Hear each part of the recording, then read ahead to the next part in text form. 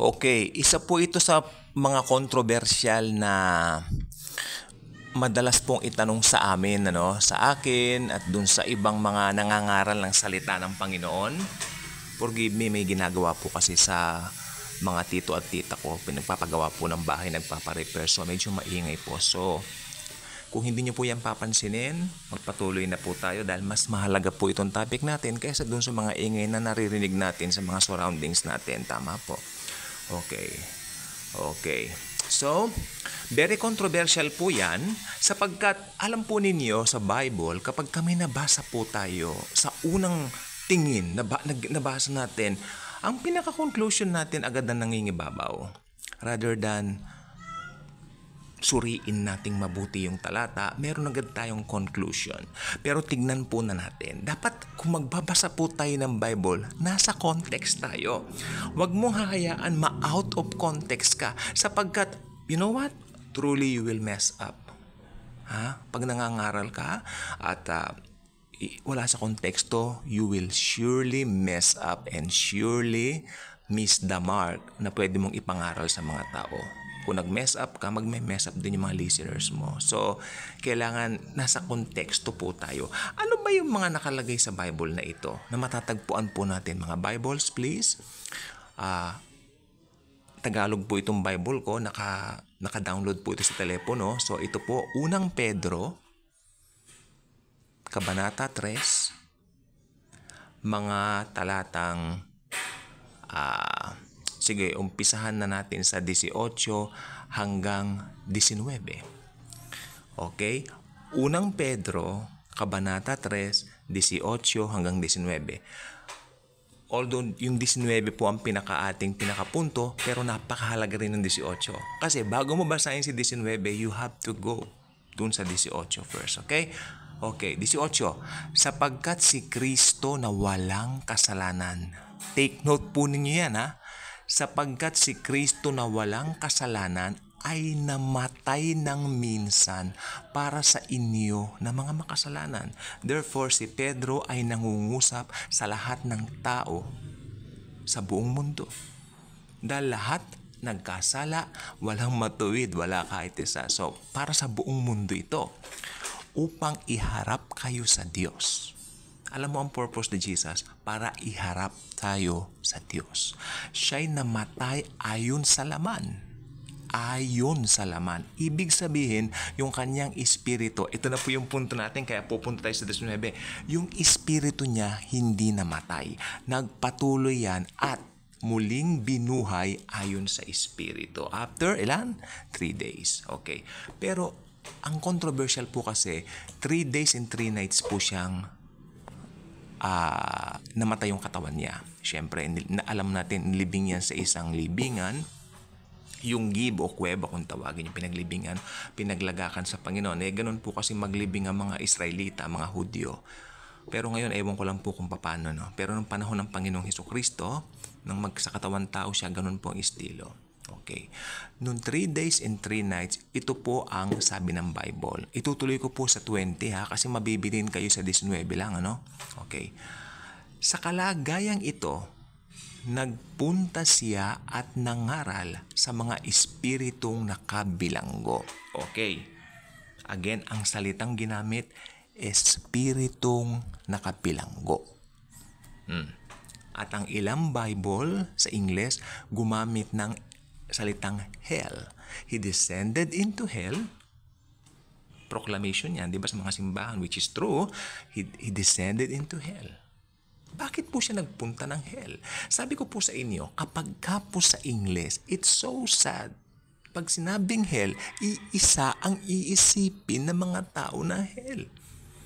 Yun yung, ano, syempre, Gehenna. Which is hindi pa nangyayari sapagkat ang Gehenna mangyayari at matutupad pa lang sa katapusan ng mundo. Okay?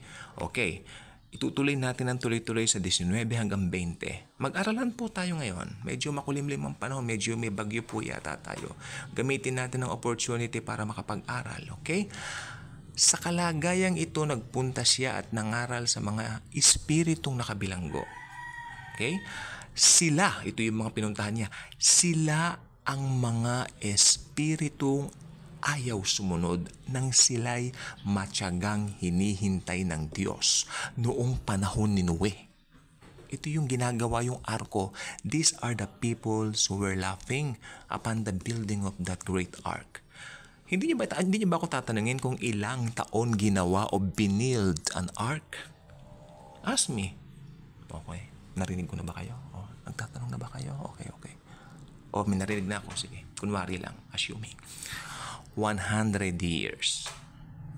Ano ba naman yung 100 years during that time? Noong panahon po ni Noe, nabubuhay ng 900 something ang mga tao. Bubuwit lang yan. Itong panahon lang natin ang pinaikli ang buhay sapagkat sa mga kinakain natin ngayon. De? Sa panahon natin ngayon. Okay? Pero 100 years ginawa ang barko o yung arko ni Noe. Okay. So ito pala yung mga pinuntahan ng Panginoong Iso Kristo. Okay. Samantalang ginagawa nito yung malaking barko, ito yung mga nagtatawa. Okay. Pero nakalagay dito, ilang tao lang, walo lamang ang nakaligtas sa baha. Okay, walo lamang ang nakaligtas sa baha. Okay, go direct to the point para matanggal na po yung confusion po ninyo. Again, ang mali sa ibang tao, pag narinig nila yung hell, agad papasok Gehenna. Nope ang pinuntahan ni Jesus ay ang Hades. During that time, wala pa po yung langit na pinupuntahan ng mga namamatay ngayon na Kristiyano. Makinig pong mabuti, napaka-importante po nito. Ano po?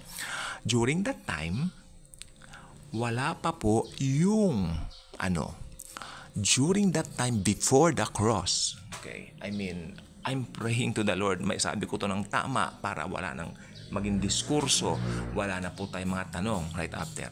Bago mamatay ang Diyos anak o ang Panginoong Heso Kristo sa krus ng Kalbaryo, hindi po agad napupunta sa langit yung mabubuting tao pag namamatay. Pumupunta po sila sa lugar din ng Hades. Ha? Gulat kayo ano? Hindi ba sabi, sabi, di ba sabi ninyo ang Hades pinupuntahan ng mga namamatay na unbelievers ngayon? Oo. Pero iba nung araw, bago namatay sa krus si Jesus, ang Hades ay nahahati sa dalawa. Ah, ah, totoo po. Hindi po ako nagsabi niya ng Bible. Ang Hades ay merong side na good at may side na bad. Mm. Ngayon, saan pumunta si Jesus? Sa Hades. Anong side? Boat. Pinuntahan niya yung boat. Okay. Nangaral siya sa boat. Good side at bad side. Okay punta muna tayo doon sa bad side. Pumunta siya roon sa bad side ng Hades para i-proclaim yung kanyang victory. Ito yung hindi tinanggap ng mga Hudyo. Ito yung pinadala ng Diyos para mamatay sa cross at ngayon nagtagumpay para ipakita roon sa mga bad people na yon na hey, nagtagumpay ang kabutihan. Okay? Makinig.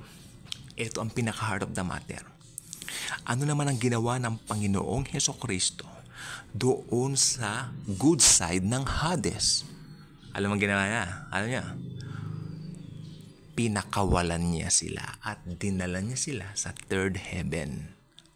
Simula nung namatay si Jesus sa cross, nandoon na po napupunta ang mga believers o yung mga na-born again na tao sa heaven, diretsyo at napakapalad nung magnanakaw na katabi ng Panginoong Heso Kristo sapagkat pagkamatay niya, heaven agad ang pinunta niya. Ba? Okay. Bigatin, ano, heavy siya.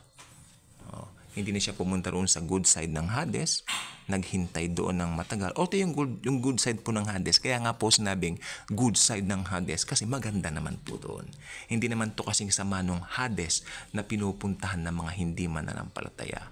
Eh bakit naman itutulad ng Panginoon ang mabubuting tao doon sa mga pupuntahan ng masasamang tao na Hades. Kaya ngayon, after that, nung dinala ng Panginoong Heso Kristo, yung mga tao na nanggaling doon sa good side ng Hades, dinala niya na sa langit, yung good side ng Hades na yan sa baba, nag-expand. Kaya ngayon, bad side na rin yon. Kasi wala na rin yung mga good person nasa langit na, hindi ba? Oh, ngayon, after the cross, sino mang mananampalataya kay Jesus, pupunta na sa langit.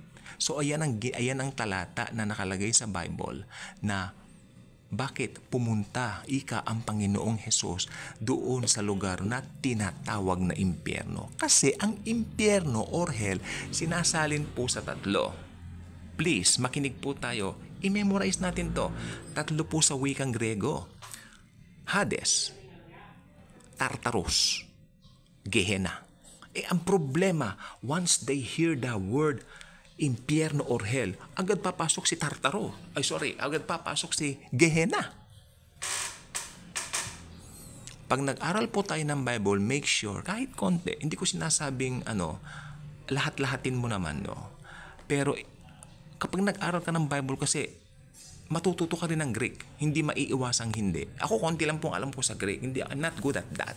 I'm not good at I'm not good at that. Pero hihilingin ng pagkakataon na aralin mo eh. Paano ko mapapangaral ito ng tama kung hindi ko nauunawaan yung good side ng Hades at bad side ng Hades? Pero sabi ko nga po, nung pakawalan, ni-release na ni Jesus, pinakawalan niya, kumbaga sa pa, kling, kling, kling, parang gate na, kling, binuksan niya na yung gate. Pinangunahan niya sila doon sa third heaven. Wow, di ba? Sosyal, ano? Nandun na ngayon sa third heaven ang mga Kristiyanong tumanggap kay Jesus. At ito pang bigatin, yung katabi niya magnanako, pangalanan na lang natin na Dimas. Si Dimas nandoon na rin. O, di ba? It's wow. Kaya nung tinanggal niya yung mga kaluluwa doon sa bad side ng Hades, ah, uh, oh sorry, nung tinanggal niya yung mga kaluluwa doon sa good side ng Hades, maliwanag pong sinabi ko ah, nung tinanggal na ni Jesus yung mga kaluluwa doon sa good side ng Hades, na-expand na po ang Hades, naging bad side na lahat. Ngayon, pag napupunta sa Hades, unbelievers na. Ito yung mga maghihintay ng araw ng judgment, no? Para itapon silang sabay-sabay sa lawa ng apoy. Ayan po yung Gehenna. Ayan ang madalas na feature ng mga tao sa isip nila whenever they hear the word hell. Okay, I hope by this time klaro na po tayo at uh, yeah, bagong kaalaman, isulat po ninyo kung kung kung nabitin kayo diyan, ulitin niyo itong video. Kaya nga po recorded na eh, nasa YouTube na eh, ulitin na lang po ninyo. Para matuto tayo, isulat na rin natin. Okay? Kaya kung hindi pa kayo nakasubscribe sa ating channel, I invite you to do so. Click the notification bell, share the love of Jesus, share His grace sa lahat natin. Thank you. And Jesus truly loves us all. Thank you po.